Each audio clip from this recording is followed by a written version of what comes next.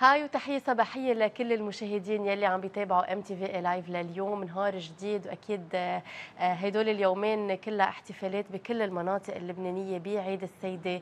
بنصلي للعذراء أنه تكون عم تحمي لبنان وعم تخلصه من كل أزماته ويكون عن جد هالفرحة وهالاحتفالات وهالأجواء كلها الموجودة بكل الضياع تكون بالفعل آه، نص الصيفية مباركة وتكون كلها فرح وسعادة.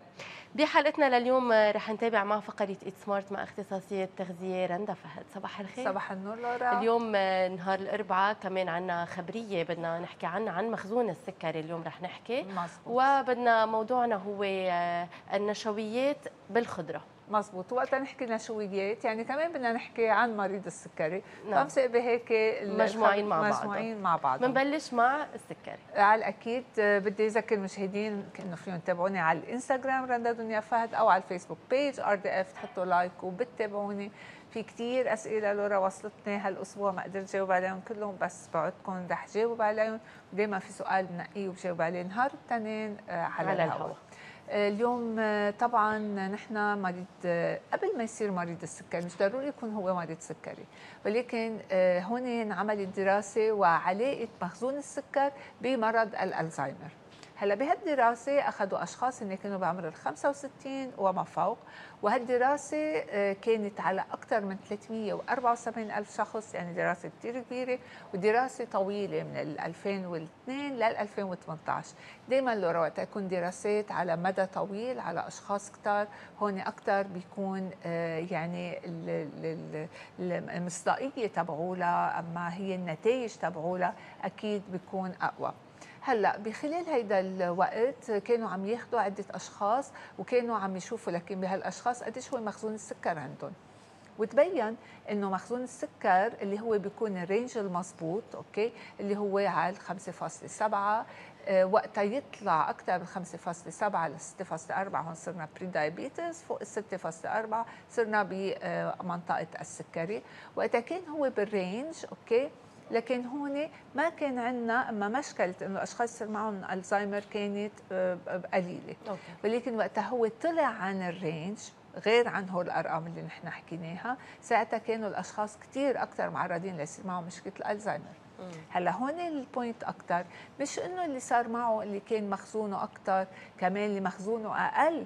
فإذا وقت يكون عندي المخزون هو مثلا أقل من 5% يعني هون أشخاص بخلال ثلاث أشهر عم يصير عندهم بخلال هالوقت عم يقشط السكر عندهم. بصير عندهم hypoglycemia أكثر من مرة. فالناس اللي على طول عم يصير عندهم hypoglycemia وكمان هن. ما عم بيعالجوها ما عم يعرفوا ليه ما عم يعرفوا شو عم يعملوا فيها. كمان هون هن أشخاص معرضين ليصير معهم مشكل ألزهايمر أكثر من غيرهم بس هون نحن عم نحكي عن الألزهايمر وعم بيكون تشخيص ألزهايمر ولا عم بيكون مشاكل إدراكية بالدماغ نعم. لا هون أكيد تشخيص okay. ألزهايمر ولهالدرجه عم بيكون جدية القصة يعني وما تنسي لورا عم هون الدراسة انعملت من عمر ال 65 وما فوق وشوفي كم سنة يعني مم. الأشخاص كانوا وصلوا بعمر okay. كمان كانوا أكثر عرض عرضة ليصير معهم مرض الألزهايمر وأكيد شافوا إنه في أشخاص صارت معهم. وشو هي النسبة اللي صارت؟ وليش هول الأشخاص صار معهم هيك؟ شافوا إنه بالحقيقة أكثر كان عم يصير معهم مشكلة ال hypoglycemia. عم يوطى كثير السكر معهم بيكون بدون ما هن يعملوا له شيء فنحن أوقات مش كثير ننبسط إنه ما بدنا السكر يعلى بس إنه بدنا إياه يوطى. دائما كل شيء هو الاعتدال وكل شيء الرينج المضبوط حتى بمخزون السكر. طبعا. آه، بدنا نحكي عن نشويات الخضرة. وقت نقول نشويات الخضرة شو بنعني هلا نحن لورا الخضرة بكل الاحوال بدها تتقسم في عندك الخضرة النشوية وخضرة الغير نشوية. كل شيء هو ورق اللي هو خس وبقلة وروكا هيدي خضرة غير نشوية. أصلا وقت نحكي نحن على البروكولي وقت نحكي على القرنبيط وقت نحكي على ال eggplant أما الباذنجان. هيدي كمان خضرة هي غير نشوية. برجع بحكي أكثر على الخضره النشوية وقت أقول البطاطا وقت أقول الذرة وقت أقول كل أنواع البطاطا حتى البطاطا الحلوة واليام. هلأ هون بده يجي عندي شيء اللي كمان المشاهدين كثير بهمهم أمره اللي هو بالنص اللي هي وقت أحكي عن الشمندر وقت أحكي عن الأرض شوكي كمان رح أحكي هون على الجزر. نعم. بكل الأحوال نحن دائما بننصح بتناول الخضار الخضار بتحتوي على كثير vitamins على كثير من المعادن. نحن الخضرة هي أكثر مصدر للبوتاسيوم اللي هو كثير منيح كرمال الضغط اللي هو كثير منيح كمان إذا ما عندنا مشاكل بالكلوة بالعكس هو كثير منيح للكلى. كمان مثل ما بنعرف الفيتامين C أكثر شيء بناخده نحن من الخضار. وبنفس الوقت هون المغنيسيوم كمان موجود بالخضرة. وما بدنا ننسى كمان إنه الخضرة هي مصادر للألياف وال prebiotics. فهون ومصادر لموانع التأكسد. فاذا الخضرة بالاجمال هي كثير منيحة. في شو أشخاص بيقولوا لي إنه آه، نحن عم ناكل خضرة. سؤالين يجي. هل أول سؤال إنه أنا هل في كتر كثير أكثر من الحصص اللي هي مطلوبة؟ بنرجع على نفس الموضوع إنه وقت ناكل اعداد اللي هي كثير كبيرة اللي الشخص اللي بيقضي كل نهاره عم ياكل كثير خضرة وأنا صدقوني من ورا خبرتي عندي أشخاص بيقعدوا بتروقوا تبوله آه، فوقتها نحن نبلش بالخضرة ونهارنا خضرة. اولا يمكن نكون نحن عم نقصر من تناول اكل ثاني ثانيا هيدي الكترة بالألياف كمان معقول كثير تضايق الجسم. فكل شيء هو باعتدال. أكيد. هلأ لروح احكي شوي على الخضرة النشوية لأنه اليوم هو موضوعي. فوقت نحكي على الخضرة النشوية. يعني نحن بكل حصة والحصة هون هي نص كوب اللي عم نحكي عليه مطبوخ. فعندك نص كوب اللي هو ذرة مثلا أما النص كوب اللي هو راس بطاطا صغير إجمالا بيبقوا بين 70 و 90 جرام. هولي آه، هن رح يحتووا على تقريبا بين 12 و 15 جرام من النشويات. طيب شو هو اللي بيحتوي 15 جرام نشويات؟ هي آه، توست صغيرة اللي هي 30 جرام من القمح الكامل. okay. آه، أما يعني بدل الخبز العادية. فاذا هون هي مزبوط تحتوي نشويات مثل مثل الخبز تقريبا. أو مثل مثل كمية الرز اللي نحن بنحكي على ال 30 جرام اللي هو بيكون الرز الني.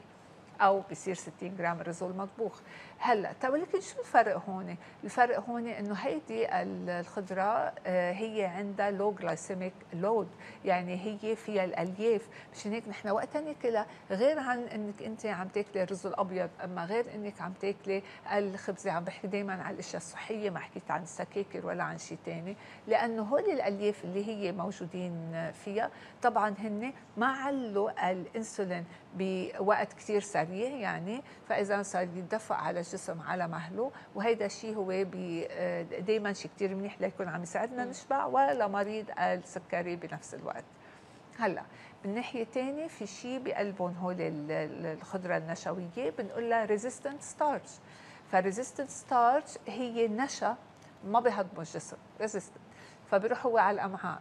كل شيء ما بيتهضم بيروح على الأمعاء هيدا شغلة فيها تكون آه، منيحة. آه جيدة. و positive وجيده ليش؟ لأنه هون صار عندي short chain fatty acid شو صار هون؟ صارت مثل كأنه هي prebiotic وإجا هون صار البروبايوتيك بيجي وبيتغذى عليها وساعتها زاد هو البكتيريا الجيده بقلب بتتخمر يعني بتتحول للبكتيريا الجيدة. هي بتتخمر وبتصير البكتيريا الجيده بتيجي بتاكلها وهون بتصير بتتزايد لأنه هي عم تتغذى. فإذا يعني هيدا هيدا الشيء اللي بيصير كل مرة نحن بنكون عم نتناول الخضره النشويه النشويه 100% فإذا هون بنشوف إنه آه، هي لها حسناتها ومش دائما نحن بدنا نخاف من الأشياء أما من لأنه اللي عم يعمل دايت بيلغيها آه، المعتقد إنه هي بس بتنصح يعني مزبوط. ما بتفيد ابدا بالجسم. مزبوط هلأ كمان اللي بدي أقوله إنه مثل البطاطا إذا نحن سلقناها ورجعنا بردناها هال resistance starch بدل ما يكون عندنا إياه 2% صار 5% فإذا زادت أكثر هيدا الشيء وصار عندنا أكثر بروبايوتيك بقلب الجسم وفاد أكثر مريض السكري. فإذا هون عم تشوفي إنه قديش هي آه، حسناتها. هلأ بما إنه حكيتي على زيادة الوزن لورا برجع على موضوع اللي هو موضوع ال calories. فنحن دائما هيدي الخضرة النشوية بناخذ الحصة هي مثل ما قلنا دائما نص كوب مسلوق. كمان إذا بدكم بالجرامات بين 70 و 90 جرام اللي هو راس البطاطا اللي هو كثير صغير. هذا بيحتوي على 80 وحدة حرارية. و80 وحدة حرارية هي منا شيء كبير آه، وشيء هيك مثلا أنت أكلتي لنقول أكلنا قطعة الستيك وحده راس البطاطا صغير بالعكس كثير طيب وكثير هو مثل ما شفنا عم يفيد وعم يكمل آه، غذائيا شو نحن عم ناخذ. هلأ لروح من هون وإذا أنا بدي أحكي آه، حكينا إنه كمان هن بيحتووا على ألياف رح نروح على الخضرة الورقية. دائما الخضرة وقتها تكون ورقية أو الخضرة اللي فيها كثير مي بدنا نعتبر إنه هي رح تكون فيها ألياف أقل. فهون بصير عندنا آه، بالكوب مثلا لنقول عم نحكي خس أو عم نحكي بقلة لنقول في عندنا جرام ونص من الألياف. عندك الخضرة الثانية رح تحتوي أكثر بين جرامين ونص لأربع جرامات من الألياف. كل ما بتشوفي فيها مم. شوية نشا أكثر برجع هون بروح من الخس وال فيهم نشا بنسبة قليلة يعني. آه هون في كثير كثير قليل نشا. كثير قليل. رح روح للأكثر اللي هو برجع على الشمندر وال بروح للأكثر شوي اللي هو جزر والأكثر أكثر شوي اللي هو الشمندر والأرض الشوكي وقت احكي أنا على الجزر لكن كوب من الجزر هو بيحتوي على 4 جرامات من النشويات. لكن انتبهوا البطاطا كان آه، عم نحكي فيها نص كوب احتوى على 15 جرام نشويات. هون الجزر احتوى الكوب منهم على 4 جرامات لستة من النشويات. يعني أكيد الجزر في أقل نشا من البطاطا حتى لو هو أحلى okay, okay. آه بيرجع بيجي عندنا الأرضي شوكي والشمندر هلأ وقت نحكي نحن على كوب الشمندر اللي هو مسلوق ومقصقص رح يحتوي على 15 جرام من النشا اللي هي حصة okay. نشوية من قد نص كوب من البطاطا. فإذا هو مش من قد البطاطا بيحتوي نشا بيحتوي من قد نصها. هلأ نوع النشا عشان هيك بتشوفوا عليه الطعمه اللي هي الطعمه اللي هي حلوة أكثر ولكن إذا رجعنا على مخزون السكر مخزون السكر بيشوف قديش كمية النشا اللي أنتم أكلتوها أكثر من يعني بالنسبة لمريض السكري بيتعامل مع الخضرة النشوية مثل ما بيتعامل مع حيلا نوع نشويات ثاني أكيد لأ بيقدر يتناولها. أكيد بيقدر يتناولها لأنه هي صحية أكثر وإذا عليه قارن رح يختار الخضرة النشوية. ولكن مزبوط اللي عم تقوليه مريض السكري لازم ينتبه قديش هو عم يأكل من الخضرة النشوية. لازم تكون موجودة بنظامه الغذائي بس يمكن مش قد الخضرة الورقية أو غير انواع بده يكون عم يعدها. الخضرة الورقية فيك تكون عم تاخذيها مثل ما بيقولوا اجوجو هون بدنا نعدها لنحسب قديش النشا اللي عم نعم. تاخذوا فيها. شكرا كثير رندا فهد بدي أقول لك ينعاد عليكي وكل سنة وإنت بخير. وإنت بخير مشاهدينا مشاهدينا بناخذ بريك وبنرجع.